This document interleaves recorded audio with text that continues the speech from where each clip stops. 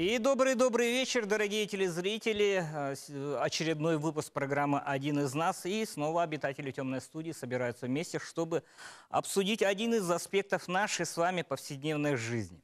И анонсированная, получилось так, что анонсированная неделя раньше программа, посвященная местным производителям, выходит сегодня.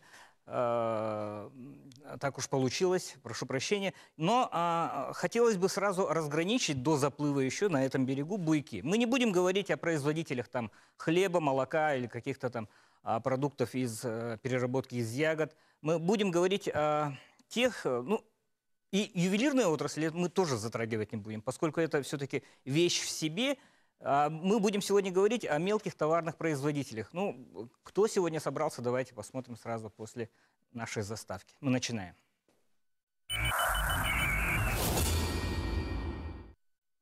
Итак, дорогие друзья, добрый вечер всем еще раз. Э, Так уж получилось, что с февраля месяца я начал, ну, как бы тусоваться, вращаться в, э, в кругу. Так получилось.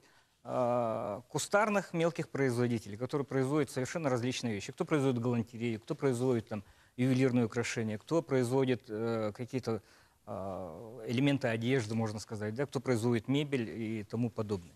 И я еще раз говорю, это вроде бы предметы, но не такие. И- Их не едят, их э, как бы э, очень масштабно не э, в промышленных э, масштабах не, не производят, не экспортируют никуда. А вроде бы вещи такие, ну, человек строится, допустим, ему нужны там, элементы ковки, допустим, к примеру, да, для того, чтобы сделать свое жилище уютнее. Э, Человек хочет, чтобы его, допустим, э, в офисной обстановке украшали вещи, э, эстетика которых ему близка и понятна. Он обращается там к людям, которые вырезают скетчбуки, э, получает вот ту самую вожделенную вещь. да. Человек хочет, чтобы, допустим, у него на прикроватном, на прикроватной тумбочке стояла хорошая эстетичная там подставка для телефона. Он идет куда-то к мелким производителям, заказывает чуть ли на индивидуальной основе и так далее. И какие вещи с этим связаны, и а, причем тут Алан Хален, мы сегодня поговорим в нашем эфире. У нас сегодня а, двое из э, товарищей из э, курирующих министерств, Министерства инновационного Инвестиционного. инвестиционного развития, получается, да, и Министерство культуры и духовного развития. А, Я путаюсь сейчас да, в названиях министерства, так уж а, прошу простить. А, И э, еще, один, еще одна представительница э, вроде бы финансовой структуры, но какое отношение имеет Республиканская Алмаз Рыбгенбанк к м- местным а, мелким а, товарным производителям? Ну давайте мы сегодня поговорим еще раз. И вот а, начать хот- хотелось бы а, вроде бы э, с такой вещи, да. А, на прошлой неделе я побывал на открытии, ну, состоялась так называемая биржа контрактов. Анастасия, вы там были? А, вы тоже были там, да? Биржа контрактов на, да, на новом мебельном кластере. Вообще вот эти кластера и так далее, и так далее, вот, вот это вот направление, да? Я не говорю пока про Алан Холлен, там вообще целый квартал был посвящен, который народным э, мастерам был посвящен, да? Вообще вот эти кластера и так далее, как вы считаете, Александр, это вообще эффективная э, форма, ну не знаю, поддержки, что ли, вот этих мелких производителей? Ну, Конечно же, кластер, кластеризацию придумали не у нас далеко. Давным-давно это придуманная схема, придуманная форма именно организации, поддержки, прежде всего, малого бизнеса, где они получают не только имущественную поддержку, размещаясь на одной территории и платя льготную аренду, получая при этом э, различные преференции, но так и за счет э, синергетического или там, мультипликативного эффекта они получают, э, получают э, преимущество по сравнению с теми предпринимателями, которые работают вне пределах, э, вне границ э, того же кластера, например. Потому что кластер под собой подразумевает деятельность э, различных э, предпринимателей, которые работают примерно в одной отрасли. И они могут друг другу помогать, обмениваться опытом, обмениваться, допустим, друг другу одалживать оборудование, станки, э, То есть опыт. это, это некий коворкинг-центр, который, допустим, вот э, в нашем случае это получается собрались мебельщики, которые э, они, в единый кластер, да, и у них получается некий коворкинг-центр. То есть у одного Ну, нет можно и так того-то и сказать, так далее. да. В принципе, можно и назвать это коворкинг-центром. Мгм. Ну, на самом деле это кластер, конечно. Ага, кластер это примерно то же самое, что технопарк, да, вот существующий. Ну, не Примерно. совсем. Технопарк, он нацелен больше на инновационную, как вы вначале сказали, э, направленность. Вот, а кластер, он конкретно для производственников, которые не несут в себе. Могут, конечно, нести инновационную составляющую, но это не э, требование, это не обязательно. Он больше похож, наверное, на бизнес-инкубатор, коим мы, мы тоже занимаемся, бизнес-инкубаторами. И малый бизнес там размещается и тоже получает определенные преференции, преимущества, находясь и работая в рамках, в стенах, вернее, бизнес-инкубаторов. Но мы видим некую две модели, да, то есть э, какие-то монструозные э, компании, а, типа Сахабулта, к примеру, или там э, почивший Бози вот этот Сахамебель, Сахамебель, да, а, который требовалось, ну, миллионные вливания, да.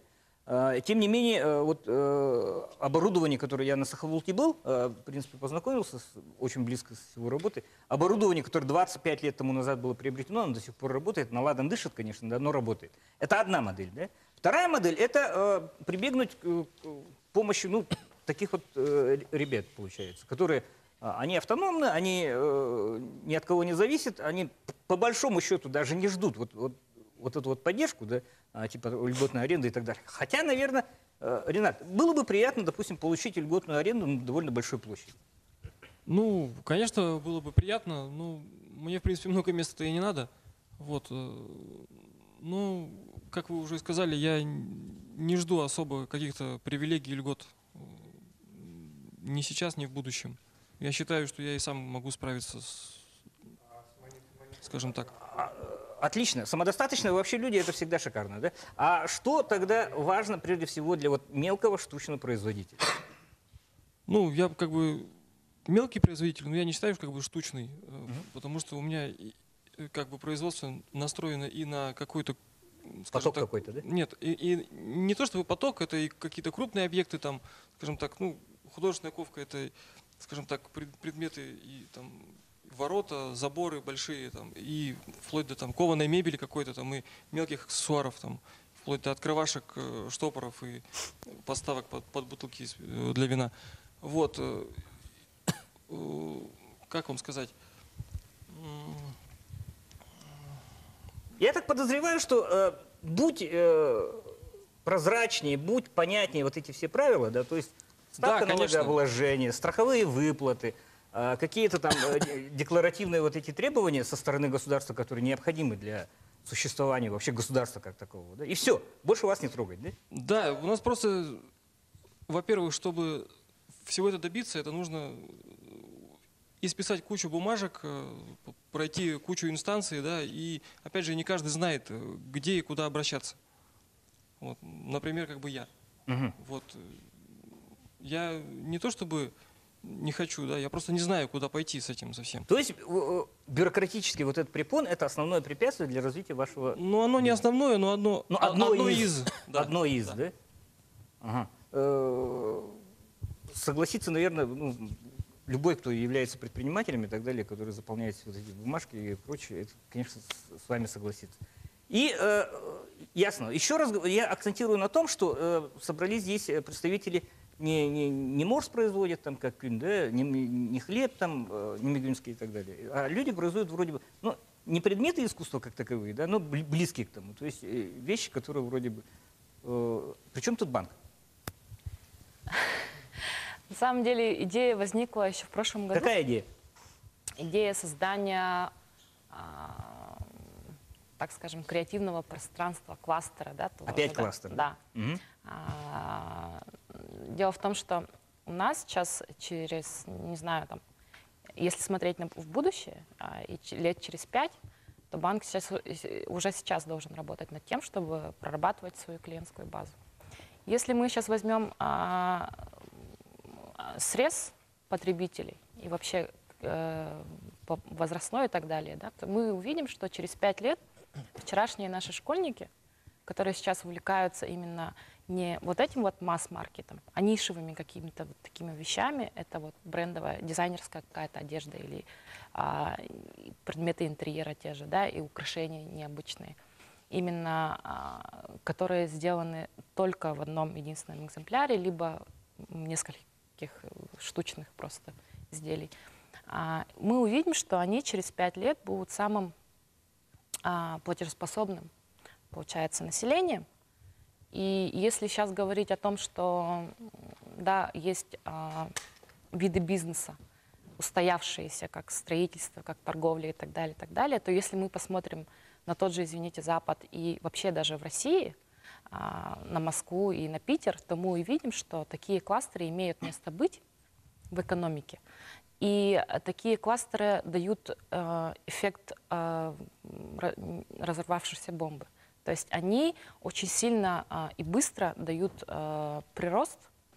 Соответственно, это стартапы, это интересные стартапы, которые могут выстрелить, в том числе и а, поучаствовать в, в так называемом ну, брендировании Якутии, чтобы мир о, нас узнал, чтобы э, сейчас как вообще, как я в тот раз говорила, да, на- о наших ножах, хамусах уже знают.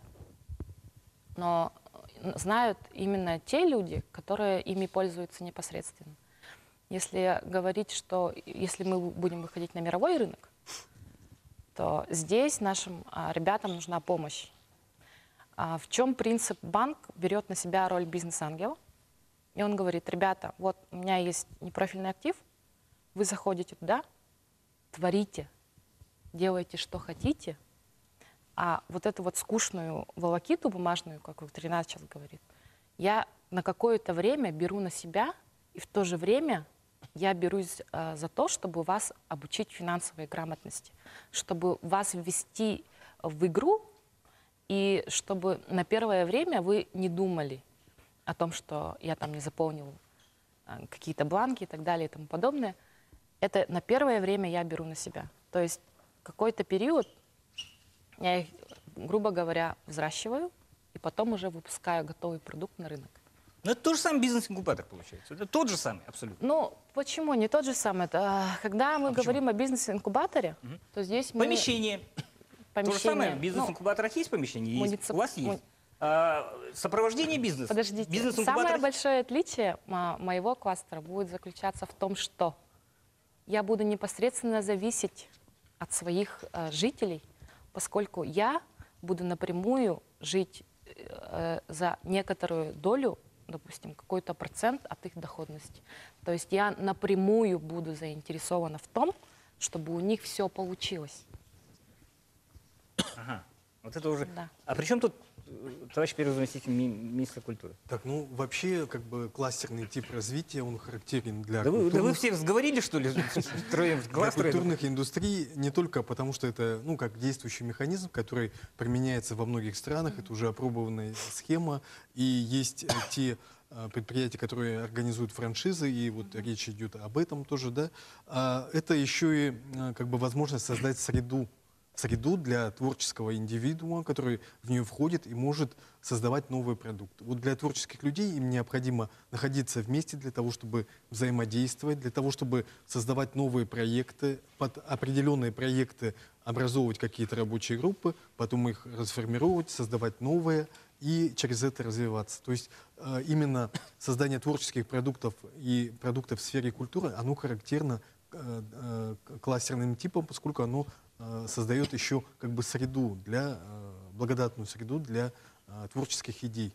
Это Такой в- атмосфера. вопрос под ковыркой. А проектное управление там тоже будет, да?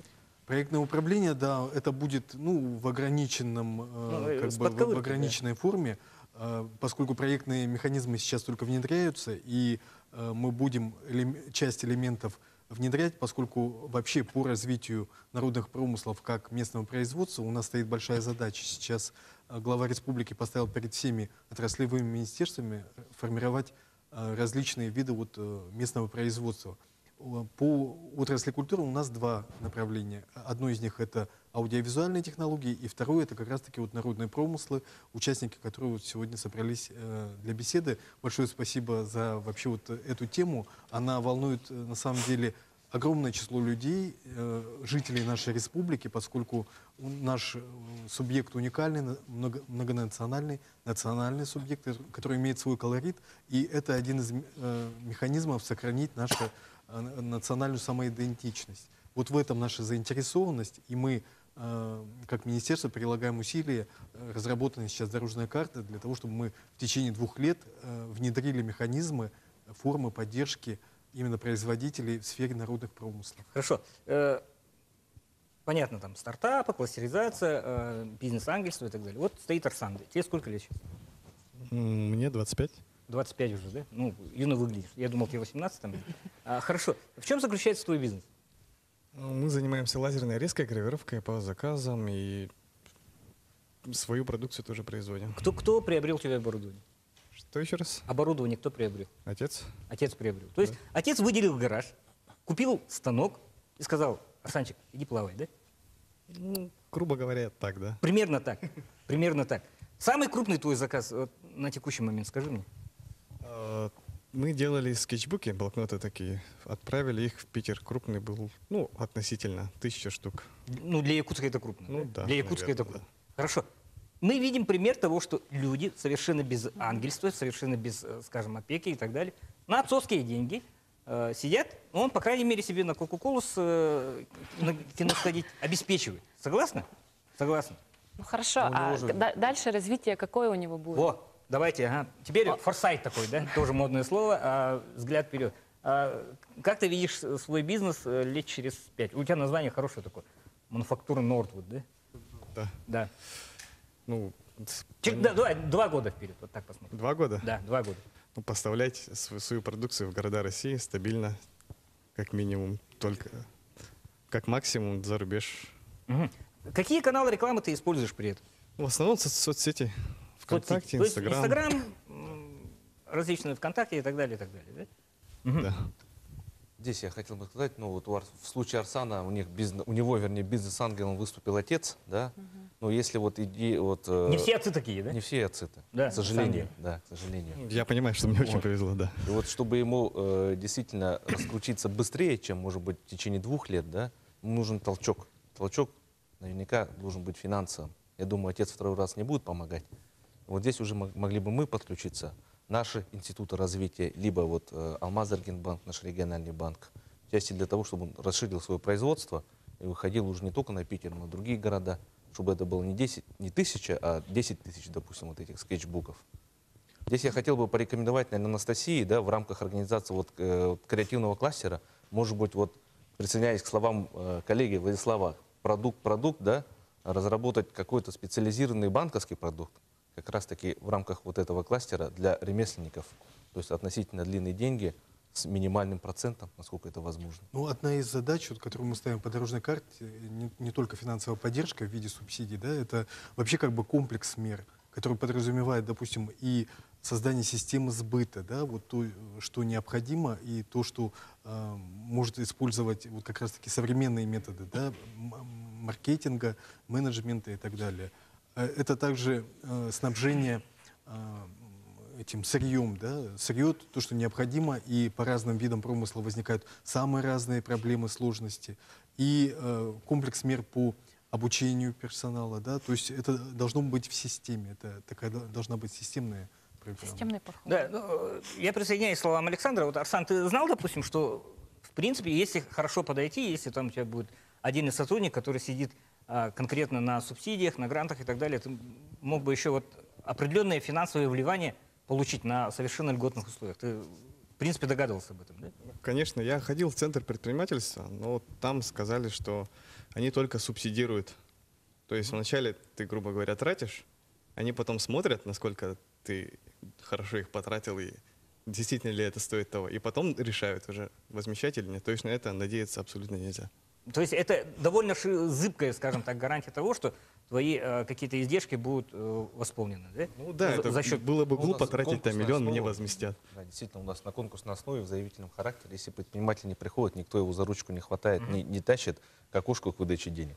Плюс э, все наши субсидии действительно по факту произведенных расходов, ну, естественно, на конкурсной основе. Поэтому мы сегодня э, больше акцент уделяем именно заемным возвратным средствам. Они, конечно, будучи возвратными средствами, уже требования к ним поменьше и конкурс пониже, нежели чем по субсидиям, которые невозвратны. И потом производители вот в сфере культуры, э, народных промыслов, они имеют свою специфику, и они, может быть, не настолько как бы явно вот как социальный бизнес воспринимаются, к сожалению, да, хотя на самом деле, э, ну вот ставят ну, перед собой э, такие, в том числе, задачи. А мед Поэтому- является социальным продуктом? Мед является социальным продуктом? Нет, нет, наверное. да. Нет, наверное. Я э, объясню, почему мед, причем тут э, какие-то социальные вещи сразу после рекламной паузы, которая э, неизбежна, неизбежна, конечно, на нашем канале. Ну, в принципе, да, первая часть нашего разговора состоялась, мы э, сразу перейдем после рекламы ко второй части. Увидимся.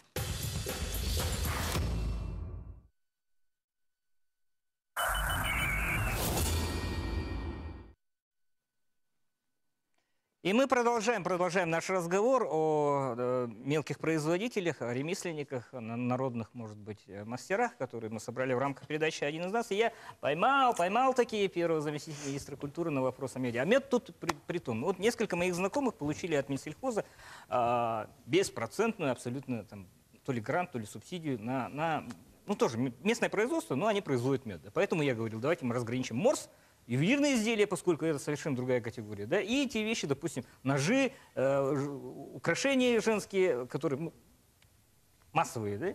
Э, По поводу ножей, кстати, вот э, повращавшись, поизучав вопрос, я понял, что маркетинг-то изучили как раз вот эти производители ножей. Вот они очень хорошо э, ориентируются на рынке, очень хорошо. Ну и следует, конечно, тут, конечно, даже в Якутии, якутский нож для якутского мужчины это наше все. Да? То есть каждый мужчина обязан там держать э, в доме там по два-три хороших ножа. Согласны вы с этим? Конечно. Да. Но, еще раз говорю, самое адекватное. Вот смотрите, изготовитель мебели, папа возьмем, к примеру, да? Делает он буфет, но делает из сосны. И оценивает 120. 120 тысяч из сосны. Цены на ножи, они абсолютно всегда, они не взяты с потолка ниоткуда. Да? Они м, сформированы в условиях жесткого очень рынка, когда они сталкиваются с кизлярскими производителями, когда они сталкиваются с кучей местных вот производителей, как в Татте живет там Эдуард, э, тут делает Айгын там, и так далее, и так далее. То есть конкуренция – это наше все. Складывается нормальный рынок, когда можно пойти за 8 тысяч купить приличный нож. Согласны с этим все? За 8 тысяч. Конкуренция Тысяч, тысяч за 20 ты получишь такой эксклюзив, который... Ну, это, это даже для меня нормальные деньги, то есть достигаемые. Вот в вашем, э, вашем направлении, вот кузнечном э, изготовлении ножей и вот в брендовом таком э, направлении, да, вот какие трудности встречаются, какие вопросы вы хотели бы поднять? Да, вот э, если вкратце, то э, мы объединили всех кузне- кузнецов и пытаемся объединить в единый союз, чтобы они между собой не конкурировали. Опа, И- я тут да. говорил, что конкуренция это благо, а тут... Наоборот, чтобы объединяем и выходим на российский рынок именно. Конкурируем с другими вот заводами. А, то есть такой танковый клин, да? Да. Конкурируем а, с этими, с Козлярами, Златоустами, Новгородами, со всеми. Вот в таком плане. А, потому что а, якутский нож, он сам по себе очень хороший товар для экспорта именно. Мгм. А, цены, да, вот разные. От 2-3 тысяч начинаются мелкие ножи и до, ну, есть до 300, до 200 тысяч есть ножи. Вот. Э, Более э, из драгоценных камней, металлов, там, сделанные вот как композиция. А, Но это больше ювелирные изделия, наверное, да? Нет, Скорее. это, Или это... это удорожание получается все равно. Ну, конечно, если инкрустировано там Ну, да, вот. мамонтовой костью. Чем больше денег заработает мастер, тем больше стимула будет у него дальше работать, М. обучать других. И стараемся еще один момент а, к молодому поколению а, уделять. Именно а, вот в прошлом, с прошлого года с Министерством молодежи вот начали совместно организовать а, во время ИСЭХа молодежи конкурс именно «Молодой кузнец». Мгм. В этом году тоже планируется, в планах есть.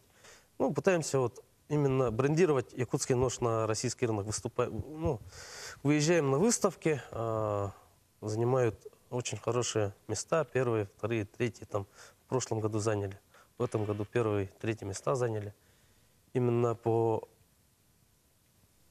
как сказать, а, по красоте. А, Художественный нож именно.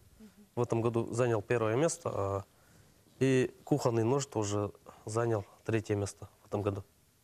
И для этого ну, проблема в том, что им сложно выезжать мастерам. Многие хотят, но с прошлого же года, да, по-моему, или с поза- позапрошлого года, убрали же это возмещение выставок. Вот поэтому сейчас сложновато как-то. А выставки вообще э, как э, элемент развития бизнеса это необходимость. да? Это необходимость. Это именно, именно брендирование. Люди узнают там на выставке. э, Выиграл конкурс, может будет продаваться очень хорошо. Вот.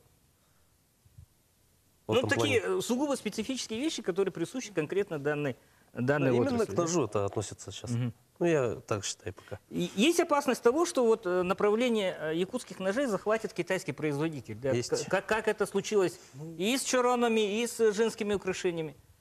Есть. Опасность существует, и есть уже явления, да, к- которые вообще как бы, что касается народных промыслов, здесь нужно разде- разделять создание эталонных образцов и массовый выпуск.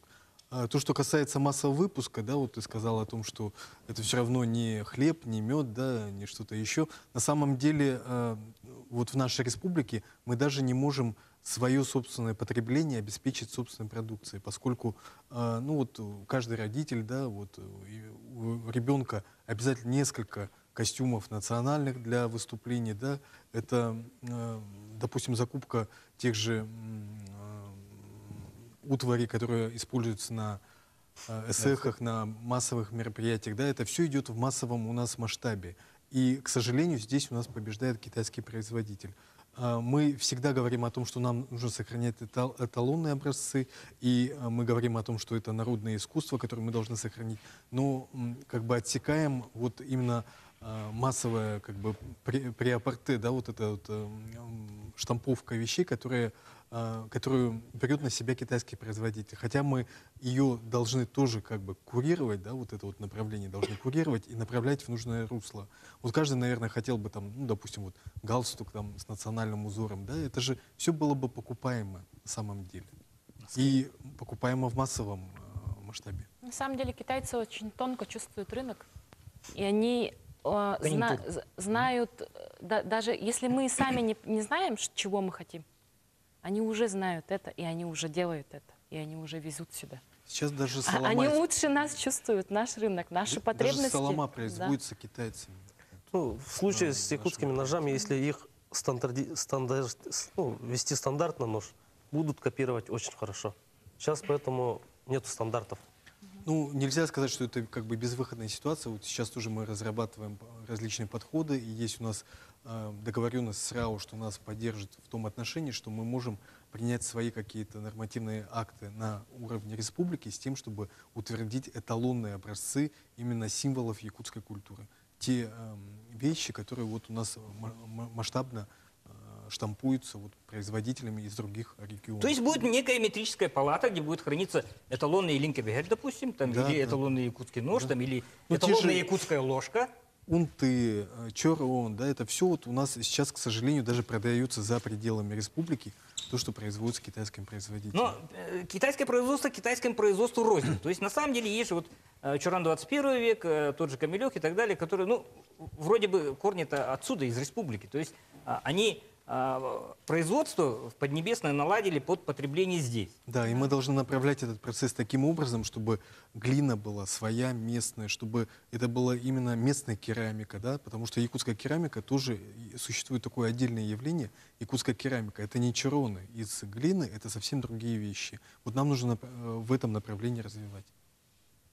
И, и, и, и вот этот выход вы видите вот как раз в этом э, конгломерате с э, банком. Нет, это, это совершенно разные проекты, они между собой взаимосвязаны, но в целом это все должно работать на ра- развитие народных промыслов как местного производства. Нельзя сказать, что это все будет в, в кластере производиться, поскольку вообще на- народный промысел это э, особый вид производства, где действительно человек должен работать в комфортных для себя условиях, он может работать дома, он может работать где-то в сельской глубинке, не обязательно ему ехать в Якутск для того, чтобы что-то создавать. Но здесь очень много разных направлений, которые имеют свою очень такую э, специфику. Товарищи, вы можете можно абсолютно смело вклиниваться, да, э, ну, Да. естественно, соблюдая Потому- некие э, Почему, этические- почему я хочу собрать в кластере и почему я вижу здесь молодых ребят?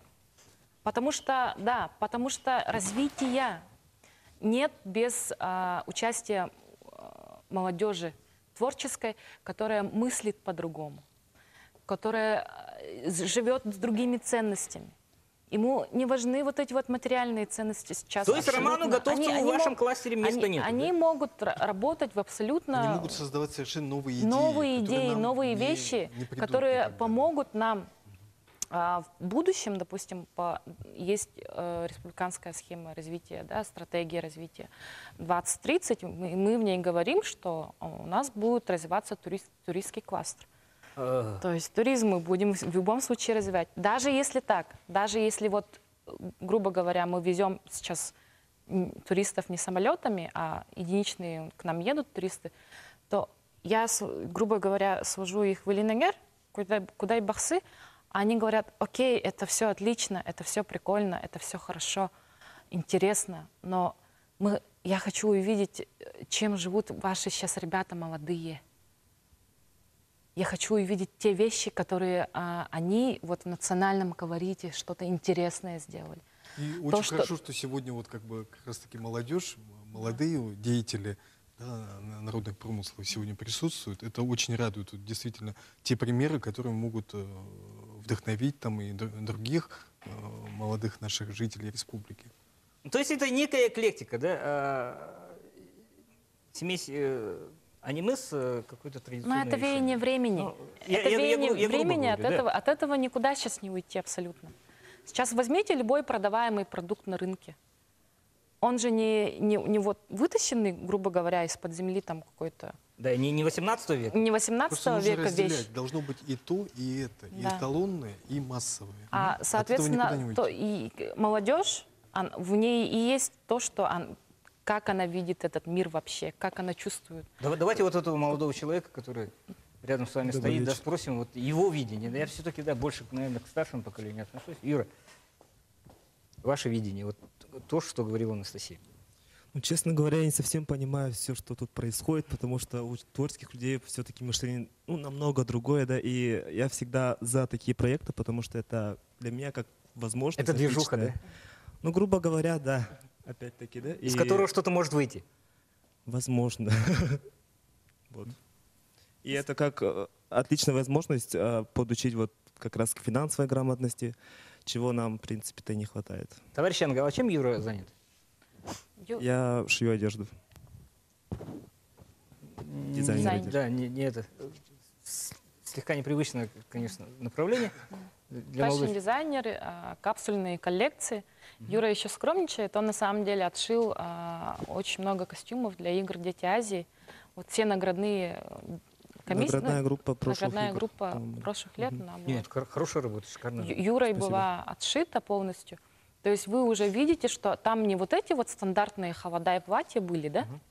А были Они инте- интересные, стилизованные стилизованные, да. интересные вещи. С налетом дизайна. Конечно. Конечно. Глубоким Без- налетом дизайна. Да. Юр, на самом деле хорошая работа. А не в Китае шил? Нет, здесь полностью. Полностью здесь. Но, То, что касается Детей Азии, все шло здесь. да, я понимаю, Да, я, уже я же сам видел, там все снимал, да. А на, самом деле еще вопрос такой, но все-таки из Поднебесной вот эти э, комплектующие, сырье и так далее, и так далее. Чё Да, конечно, все материалы были заказаны не, здесь, потому что там около 200 метров ткани ушло, э, а это в рулонах где-то 4 рулона, чего в магазинах, в принципе, не найти одинаковой ткани одного потока, да, скажем Да, так. кстати, это бе- беда Якутска. То есть здесь... Да, у нас нет, собственно, такого производства ткани и других И ткань, другого сырья. и, И поставок дерево, нет. и Да. много чего еще. Поэтому У нас своего нет. высокая, поэтому кабелек и чарона делают в Китае, а не здесь, Да, наценка там огромная уже идет. Наценка Ну, вообще... на самом деле сейчас весь мир делает все в Китае. Да, но Nike тоже, да? Ну да, Все и, делают. и Все все, все брендовые вещи делаются в Китае, так что от этого уже не уйти. И, и как бы нам не хотелось, да, но Мы грубо- должны сопротивляться.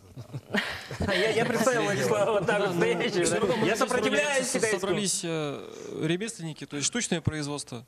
Поэтому как бы Китай здесь как бы вообще, в принципе, затрагивать, я думаю, не стоит. Опять же, если говорить о каких-то, э, скажем так, материалах, да, то в любом случае мы будем материалы э, закупать извне. Потому что это и металлопрокат, опять же, и деревообработка, потому что ну, вот сколько я общался с, ме- с местными мебельщиками, из, нашего, из нашей древесины очень сложно что-то сделать. Потому что она, ну, наша сосна, она немножко не такая, она, грубо говоря, закручена винтом из-за наших холодов. Вот, э, как бы глина, ну, может быть, тоже я здесь как бы не силен. Но, в принципе, А руда и э, выплавлять железо из местной руды. Вот это можно, да. У меня есть, э, опять же, знакомые, есть? знакомые кузнецы, которые занимаются тоже ножами. Они сами выплавляют, они делают крицу, то есть э, сами занимаются выплавкой. Это Вот. очень долгий. и да, это очень долгий процесс, и очень нудный. Легче купить, купить Болванку? го- готовый. Да, легче, легче Да. покупать э, уже готовое сырье, из которого Да. выковывается. Но, но если я воспарю над ситуацией, это не будет ли некое полуфабрикатное такое сделать? Да нет, я бы не сказал. Полуфабрикатное это будет, если у вас, скажем так, какое-то станковое производство, грубо говоря, штамп. У вас есть какое-то клише, опять же, стандартизация. То есть вы стандартизировали какой-то какой продукт, все, положили, сделали под него матрицу, нажали педальку, и она пошла уже в производство. Просто Нет, как ну, конвейер. Пример. Японские вот эти клинки, которые еще раз тоже там на а, раз в 60 лет цветет там дерево такое-то, такое-то, нужно под его ветвями там собрать э, золу и так далее, и так далее. Вот, вот аутентичность вот всего вот этого процесса. Это скорее маркетинг японцев. Скорее маркетинг японцев. То есть они клепают также из э, с готового сырья, и... но делают при этом хороший маркетинг. Да. Да. На самом деле, так. вот у нас есть что показать миру. Есть что рассказать. Сама история народа Саха, она продаваема вообще априори, да? Но самое главное у нас наша ошибка. Мы не умеем а, Упаковать. упаковывать продукт. Правильно его подавать, грамотно. То есть мы очень интересны миру, но мы, у, нас нет, у нас нет таких э, СММщиков очень крутых, у нас нет таких супер крутых маркетологов, которые бы, а, взглянув на продукт, придумали ему какую-то, ну, грубо говоря, историю, которая бы затронула сердца миллионов, да, и э, товар бы пошел. На самом деле, Риана в якутских украшениях это была бы как раз та самая история, да? Да. Была бы, да? Э, Варвара, э, вы производите якутские вот украшения, ну, еще раз, не из драгоценных металлов, а некие стилизованные. Вот, Аксессуары, да. да, э, в хорошем смысле попсу, да, то есть массовое изделие, которое, э, еще раз говорю, это может быть авторское видение, это может быть какое-то э, дизайнерское видение, это, это имеет право быть, и оно должно быть. Вот давайте вот э, ваше видение, женское, потому что э, на- Настин подход, он больше банкирский, нежели... Ну, а, у нас есть творческое объединение студенческое, да, А, и мы... Опять молодежь, да? Да. молодежь. И мы вот уже э, без пяти минут выпускники, и у нас стоял вопрос о трудоустройстве. Кто куда пойдет, куда работать и куда устроиться. Да? И творческому человеку работать на кого-то это очень сложно и неинтересно. Я знаю, я, я по себе знаю, да. Ага. И если даже нас возьмут э, э, ювелиром, дизайнером, модельером, то все равно надо подстраиваться под, под рамки предприятия. Да? Вот, Стандарт. да.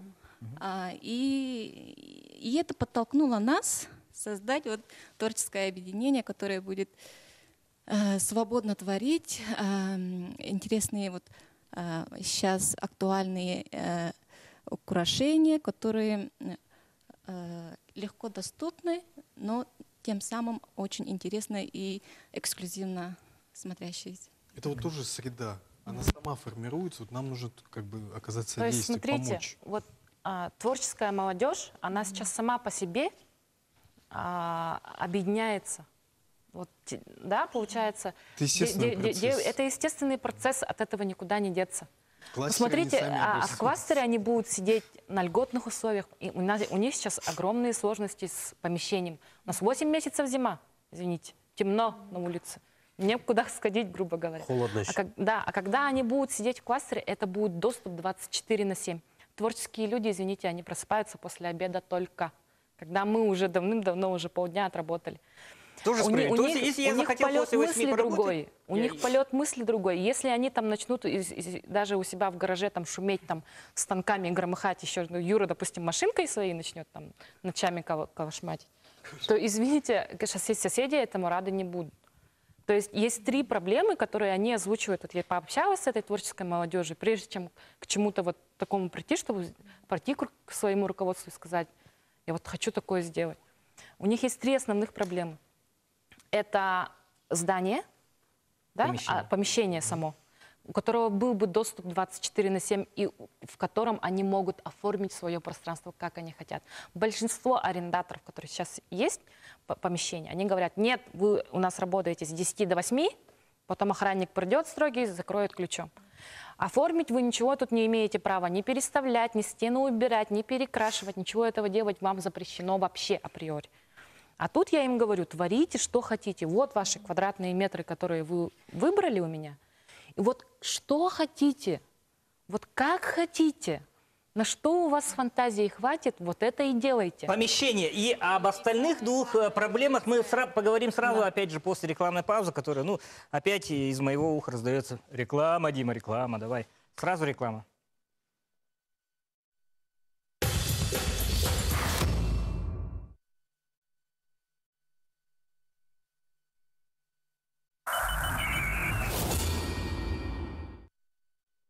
И вы смотрите третью завершающую часть шоу Дмитрия Аргунова, один из нас на самом деле. Шучу, конечно, просто я апеллирую к а, Насте, которая говорит, я соберу в своем классе. Вот какие две проблемы еще? Рынок А, сбыта? по- по- Помимо помещения. Было помещение, то есть не- нельзя... Кстати, тут в перерыве э, сказали, что априори глупо собирать под одной крышей кузнецов, швей, э, ст- столяров и ювелиров. Ну, грубо, да? Да. Да. Ну, так образно этого и так. не будет. Ювелиров там не будет. Нет, конечно. Кузнецов тоже не будет. Нет. Ну, то есть, еще раз говорю, у вас сугубо узкоспециализированный конкретно на сувенирный рынок кластер получается, да? Сувенирный, а, креативный. Вообще, ребята, которые на самом деле... И а, Люфу тоже можно не- принести не- к э, креативу некому, да? Но он производит фильмы. Можно его. К аудиовизуальным почему нет? Он не только фильмы производит, он делает фото. И сейчас он выкладывает свои работы в банк, банк фото, допустим, всего мира. Давайте вернемся. Им не хватает рынка сбыта. Я говорю, окей, э, как вы видите рынок сбыта? Они говорят, ну вот, мы там пытаемся там рекламу дать туда-сюда, через социальные сети работать и так далее, и так далее. Хорошо, а как, говорю, вот вы завоюе- завоюете местный рынок, ну, города Якутска, а дальше вы как, в чем себя видите? Это должна Ну, быть одна из да, ну, может быть, на- да. площадок. Это зависит Вот от товара Ну, же ну, может тоже. быть, на Россию именно. выйдем. Если там совсем хорошо все будет, выйдем на международный уровень. Нет, стартапер именно молодой, допустим, у него нет этих препонов, у него нет этих планок, потолков, он говорит сразу, Я я, я, я- а так именно должен быть стартапер. Он должен говорить, я должен завоевать Через два года мир, я должен смогу захватить за- Шанхай. И- Примерно. И, и Ну, у он- нас же и- есть такие, да? И, и Есть. на самом деле есть ребята, и есть продукты, которые достойны мирового уровня. И у них легенда хорошая. И, сам, и третья проблема, это в основном проблема, которую мне озвучили а, люди и мастера более старшего поколения. Они говорят, нам очень жаль, что мы не можем передать свои знания молодежи. Особенно это есть проблема, остро стоит а, в а, УСах, Ну, то- о том, что. Игорь говорил, да? Да. Да. Преемственность как Преемственность вот это вот, ну, извините, человек должен быть с этим родиться, грубо говоря, да, чтобы ра- работать с металлом, чтобы Но работать здесь с деревом, еще есть да. момент конкуренции, да, то есть Здесь есть момент еще экономический. Если невыгодно, мол- молодой человек, наверное, не пойдет да, там. он шить. говорит, это невыгодно, это Да. как бы, грубо говоря, вымирающий Лучше вид, да? пойдет с- работать строителем. строителями, будет там заработают здесь сейчас, нежели вот... а, то Не, есть ну и если душа тянет, творит, извиняюсь, это ни с каким... э, Таких очень мало, Ну, наверное. см- ну, смотри, ну, Дим, м- Дим, лучше, наверное, все-таки выделить вот эту вот с- с- специализирующихся Смотри, таких э, ты, ты фанатов. видишь эффект э, компании Майтона? Вот эта вот компания выстрелила. Сейчас все наши молодые ребята хотят стать э, э, частью этого. Зарабатывать часть- миллионы. за- Зарабатывать миллионы сразу же, да, грубо говоря. То есть здесь молодежи тоже нужно показать один хороший пример. Одного примера хватит. И почему-то у нас очень плохо, да, что, что у нас почему-то так сложилось в республике. Мы не ценим то, что здесь и сейчас делают наши ребята. Мы начинаем ценить только когда они выходят на мировой уровень, и там где-то на каком-то конкурсе завоевывают места и так далее, и так далее. Вот тогда мы начинаем их Да и ценить. то мы ценим Да, на уровне, знаешь, на- наше. написали там в светском Якутске, бла-бла-бла и так далее. На Нет. самом деле, я еще раз говорю, вот это плюс всех вот этих ребят, да, на они не производят ювелирные украшения. Им с чем вообще не- невозможно никуда пробиться. Их Антверпен не пустит, их там Гонконг не пустит и так далее. Согласны? А фанерные вещи, я извиняюсь, продавать могу хоть где. Согласны? Те же самые вот эти из кожи там и так далее, и так далее. В этом я вижу прелесть от того, что они не ограничены вообще. То есть не идут конкретно там, вот конкретно там по канонам ювелирки должно быть такое изделие, такое. По ювелирке мы поговорим отдельно вообще. Это э, поскольку э, состояние ювелирки на текущий момент, ну, В не то, что же и удручает. прелесть. Да. То, что- Но в, это- в этом и прелесть, в этом и кайф. Вот я почему Арсана позвал, почему э, обычные вроде вот такие вот вещи, да, фанерные вот эти значки, они копеечные, да, но их навалом. Их море, да, и их можно купить чуть ли на каждом углу и так далее. Я не говорю, что про кузнечное дело. Тут, конечно, специфика своя есть. Своя есть. Я, я вообще не понимаю в кройке и шитье и в производстве каких-то там э, украшений с элементами финифти, да? Вообще не понимаю. Не хочу понимать. Здесь еще есть э, эффект э, трендов, мировых трендов, за которыми гонится на самом деле вся молодежь. Вообще сейчас ищут уникальные вещи, да, которые ни на что не похожи. А, ни- ни- ничего они не повторяют. Вот посмотрите все последние коллекции там fashion-дизайнеров, которые вот сейчас шагают по подиуму, да, весенние коллекции. Вы там не узнали свое платье якутское, халадай национальное, укороченное и приспособленное под подиум? Ну, для брендирования именно нужны деньги просто. Просто деньги. Для грамотного Для, брендирования. для грамотного Да, брендирования вот деньги сняли нужны, очень конечно, хороший да, но- ролик, э, хорошего маркетолога наняли, и, наверное, А вот, а вот таких, 50% а- а успеха таких маркетологов хорошего уровня э, и такого контента с широкой публикой абсолютно не, не только на Россию настроено, не только там, не знаю, на Штаты, Европу настроено, а вообще на весь мир развернуто, такого, чтобы было такое. Допустим, есть такие ребята в Сингапуре. Они очень хорошо работают в этом плане. А почему, а, а почему они этим занялись? Вот задайтесь этим вопросом. А потому что что им делать еще в Сингапуре? Там добывать нечего, да? Вода, вода, кругом вода. Что им? Вот они начали и... э, Кл- Кластерный тип этому будет способствовать, да, то есть кл- кластер это, я так понимаю, что это как фабрика, да, как фабрика На самом деле, кла- звезд там, да, или да. Фабрика допустим, вот, мастеров, вот эти украшения, да, к а, тому, чтобы снять очень люди- красивую упаковку, сделать за деньги, заплатить вот оператору, монтажеру, там, а, актерам, и дарить вот медийным личностям, девушкам там. Но это не, не это- должно это- таким это это уже. Мне деньги не нужны, Игорь, э, примеру. Это путь, по которому пошел вообще весь э, маркетинг в России. Да, это, это, это это, модно это- будет. это сейчас работает. Но если смотреть наперед, на будущее, то это, извини, это не Должен быть Ну, сработает. сейчас надо Э, использовать то, что работает, и зарабатывать деньги на будущее же. Ну, это должно быть профессиональное решение. это- там Да, всё равно без денег, э, без Э, денег, не- То, что наверное. мастер сам не может придумать. Должен прийти специалист, который посоветует вот с вашим рынком, на- э, с вашим продуктом на мировой рынок можно выйти только так, Ну, только таким да, вот способом. для этого только мы с и- такой историей. Вот, Вот, для допустим, этого мы объединили Кузнецов Единый Союз, чтобы выступать вот под единым флагом. Именно, вот, именно якутского ножа. А по отдельности мастера, наверное, э, им сложно очень. Они, у них э, интернет, во-первых, телефонной связи в некоторых районах вообще нету, дороги нету вот, осенью, весной. А зимой э, им надо... То есть тут идет вот то, та самая цеховизация, э, про которую мы говорили в перерыве. Да? То есть э, по цехам они э, какие-то профсоюзы объединяются и уже начинают продвигать Да, свой продукт общими усилиями. Они уже локально работают у себя дома и отправляют к нам сюда. И мы это уже рекламируем. И вот надо- это на есть стихийные Надо кластеры. сказать, что вот у нас очень много такой креативной, современной молодежи, которая мыслит нестандартно. И это наше отличие, это наш вот ресурс, наше будущее нашей республики. Э, Все, кто к нам приезжают, это отмечают. Вот все, всегда наши гости говорят, у нас вот не- недавно тоже проводился форум совместно с Алмаз банка, приезжали э, специалисты из Ка- Ка- Кальвин, Кальверт. Кальверт форума, и они были очень поражены, удивлены о том, что это есть, и мы вот как как бы отдаленная территория, труднодоступная, мы сохранили это, и об этом мало кто знает. на Да, да мы законсервированная территория, которая, до которой очень трудно добраться. Иначе бы здесь была бы гопа целая туристов, допустим, из Новой Зеландии, которые раскупили бы все, все абсолютно, все на корню. В этом Вот наш так. плюс большой. говорю. И В этом минус. плюсе И большой, Огромный такой же минус. большой минус, Очень да. жирный минус на самом деле. Но сейчас с появлением интернета и площадок, и современного рынка на, на интернет-площадках, да? Ну, интернет у нас для юрлиц вообще бешеные сто- деньги стоит. Нет, ну это, это, это- это- интернет, это это- частности, это частности. На самом деле, сидя да- даже из дома, можно, э, наверное, организовать какой-то интернет. Я, я, я думаю, что на Питер ты вышел через интернет и абсолютно спокойно, да? Да, конечно. Да. Ну, это Э, единичные случаи же. Вот мгм. Для Ну юрлиц именно. Ну вот поэтому, допустим, чтобы ты бешеные свои деньги не тратил, сидя в одном здании, мы объединяем в кластер, чтобы этой линией большой, у которой есть мощ- мощно- м- мощностя, пользовались и другие в том числе. В том числе это касается и электричества. Нам тоже, извините, да, свои требования. Это, это же каса- касается и основания зданий и так далее, что туда абы что не затащишь иногда. Да?